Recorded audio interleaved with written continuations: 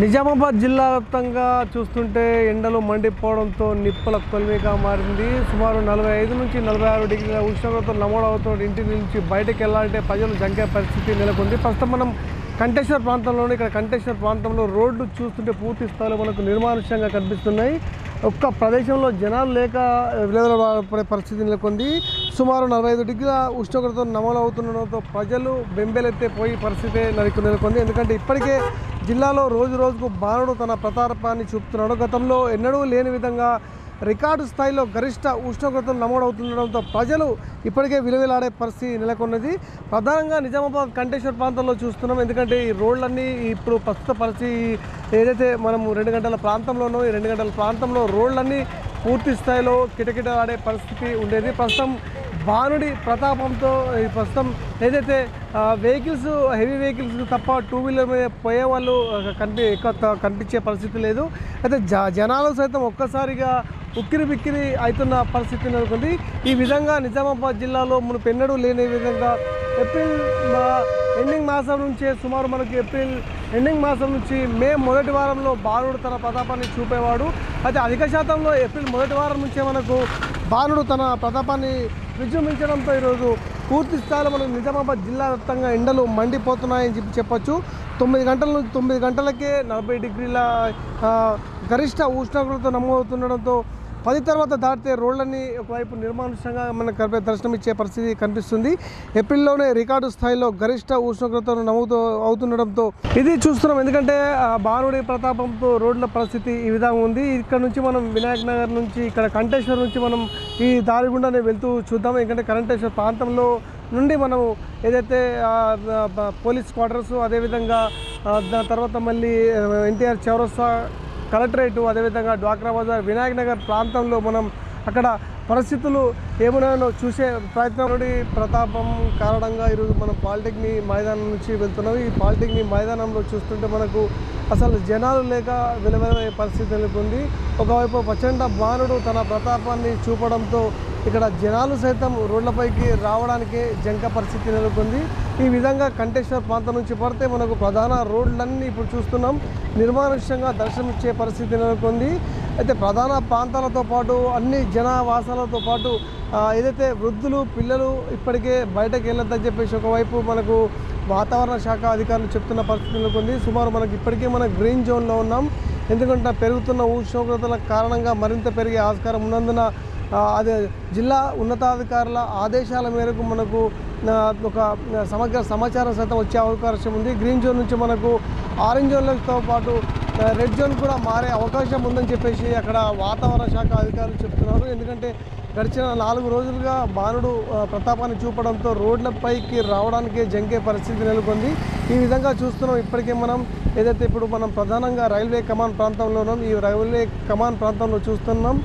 జనాలు లేక పువ్వు రోడ్లన్నీ వెలబోయే వెలవెలబోతున్నాయి ఒకవైపు కర్ఫ్యూ వాతావరణాన్ని కల్పిస్తుందని చెప్పొచ్చు. ఎందుకంటే మునుపెన్నడూ లేని విధంగా జనాలు సైతం రోడ్లపైకి తిరిగే తిరగడానికి సైతం భయపడే పరిస్థితి నెలకొంది. కేవలం అత్యవసరం ఉంటే తప్ప బయటకు వెళ్ళలేని పరిస్థితి ఉండడంతో ప్రధానంగా జనాలు సైతం ఉక్కిరి బిక్కిరి అవుతున్నారు సో మనం కమాన్ ప్రాంతంలో ఉన్నాం. ఈ కమాన్ ప్రాంతం నుంచి మనము ఇక్కడ విజయ్ థియేటరు అదేవిధంగా ఎన్టీఆర్ చౌరస్తాతో పాటు మిగతా ప్రాంతాలకు వెళ్ళే ప్రయత్నం చేద్దాం. ఎందుకంటే ఇక్కడ జనాలు కొద్దిపాటి ఇప్పుడిప్పుడే బయటకు వెళ్ళే పరిస్థితి కనిపించే ఉందని చెప్పేసి మనం చూడవచ్చు ఇప్పుడు.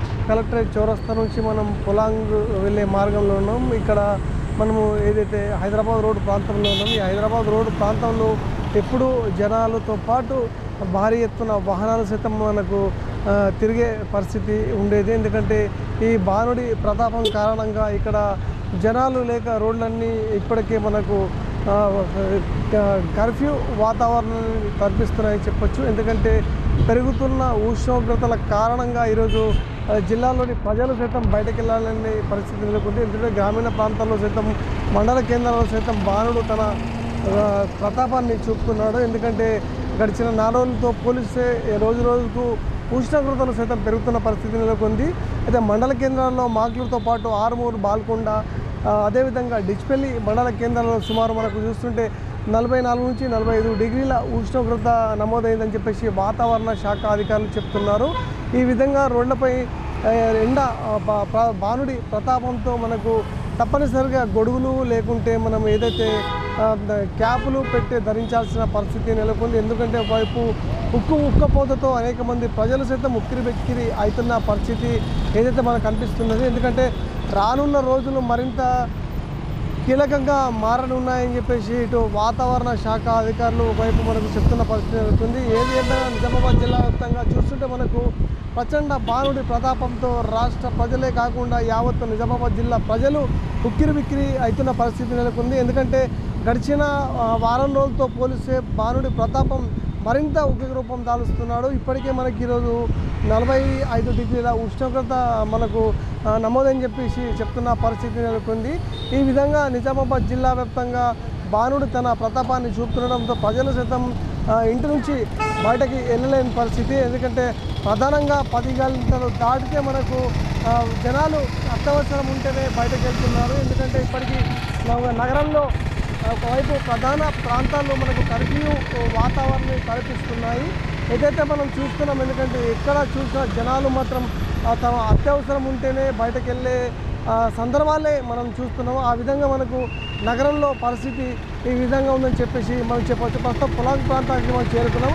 ఇక్కడ పొలాంగ్ ప్రాంతంలో చూస్తున్నాం. ఎందుకంటే జనాలు సిగ్నల్స్ దగ్గర ఉండడం ఈ సిగ్నల్స్ ప్రాంతంలో జనాలు లేక ఒకవైపు కొద్దిపాటి ఇబ్బంది మనకు ఉన్నది. ఎందుకంటే బాణుడితో పాటు బాణుడి ప్రతాపంతో ప్రజలు ఇబ్బంది ఇబ్బందికి గురవుతున్నారని చెప్పేసి మనం చెప్పే పరిస్థితి నెలకొంది.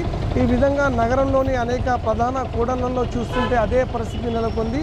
ఒకవైపు బాణుడికి ప్రతాపానికి ప్రజలు సైతం ముక్కిరి బిక్కిరి అవుతున్నారు.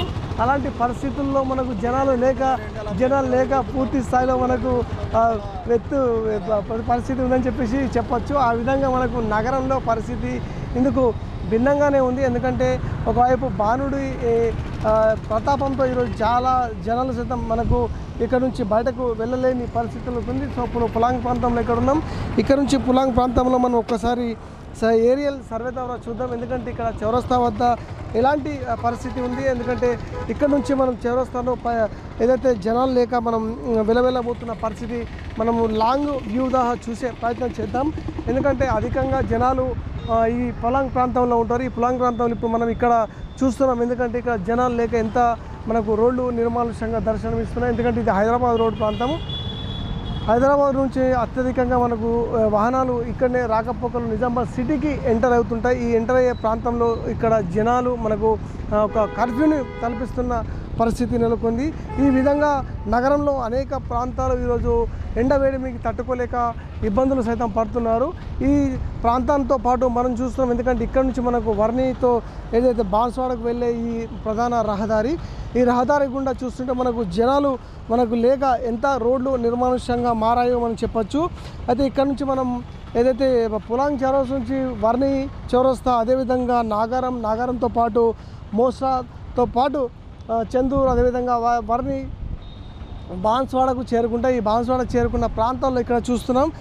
ఒక్కసారిగా మనం చూస్తున్నాం ఎందుకంటే వాతావరణం వేడెక్కడంతో జనాలు సైతం ఉక్కిరి బిక్కిరి అవుతున్నారు. ఇక్కడ ఎవరు జనాలు కనిపించే పరిస్థితి నెలకొన్నది.